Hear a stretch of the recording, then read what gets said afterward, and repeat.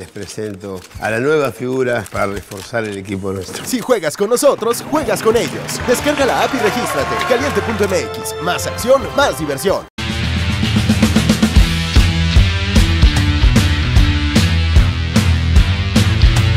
hay todo, para las buenas y para las malas.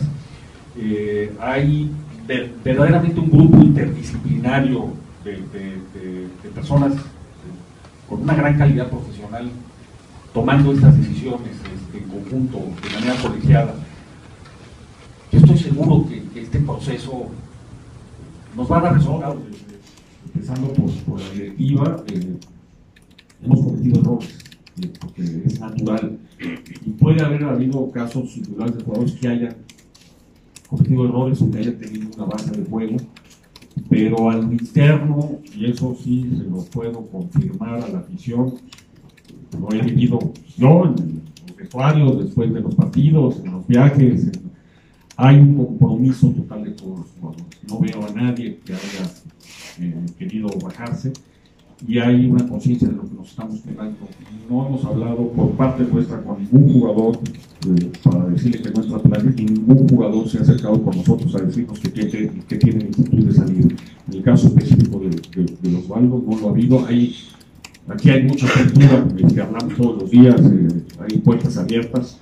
Eh, desde el punto de vista directivo y del cuerpo técnico, hoy contamos con todos los jugadores, con todo el plantel, los que están inscritos, en el primer equipo, los que están inscritos en su 20, en su 17, en su 15, y necesitamos a todos. Alguna oferta este, el caso de Camilo, y no tenemos intención de, desde luego, de, de ponerlo como transferible. La intención es de Camilo ha venido a ser, como siempre se dice, que se llaman los equipos de atrás para adelante, que creo que, así es, que ha venido a ser un bastión para el equipo y alguien eh, con el que podemos construir alrededor de este proyecto.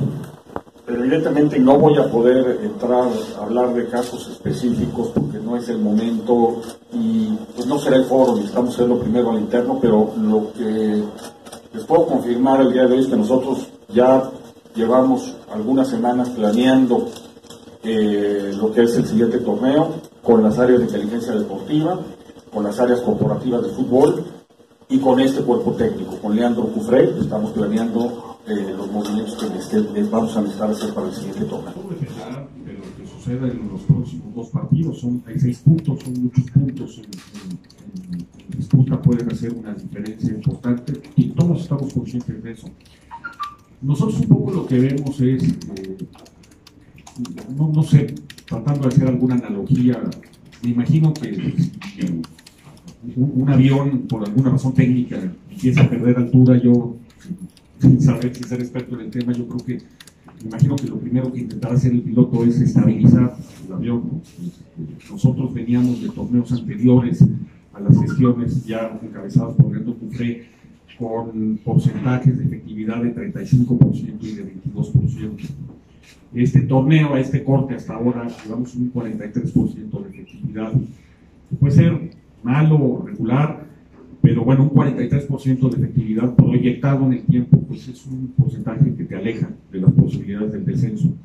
Y si ese 43 logramos acercarlo y convertirlo en un 50%, pues es un porcentaje que te mete a liguilla. Entonces, Sí sentimos que con Leandro hemos logrado eh, esta etapa de estabilización y que tenemos que redoblar esfuerzos, ser muy autocríticos para corregir lo que tenemos que corregir, para volver a empezar a aprender altura. Eh, pero, pero sí, desafortunadamente nos tocó ser el primer partido que existiera el grito. Yo, otra vez, lo que me toca es invitar a la sesión a que no se dé, que esto puede traer eh, consecuencias graves para el equipo graves desde el punto de vista de que se suspenda el partido, de que se empiece o se invite a retirar a algunos aficionados del estadio, que se pueda jugar a puerta cerrada y al final puede haber consecuencias hasta de pérdida de puntos. Entonces, esto puede afectar al equipo eh, de manera importante en lo económico y en lo deportivo.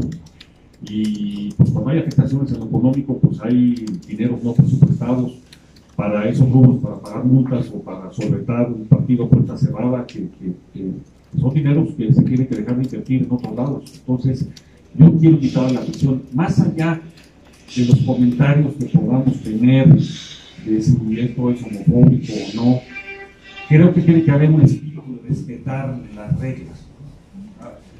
Si de repente en un crucero donde no existía un semáforo ponen un semáforo, y yo no estoy de acuerdo que se haya puesto ahí un semáforo, pues eso no me, no, no, no, este, no me da el derecho a pasarme el, alto. Pues pueden gustar o no las reglas, son las reglas. En la medida en que una ficción, eh, la población de una ciudad y un país respete las reglas, será en la medida en la que seamos un país más civilizado.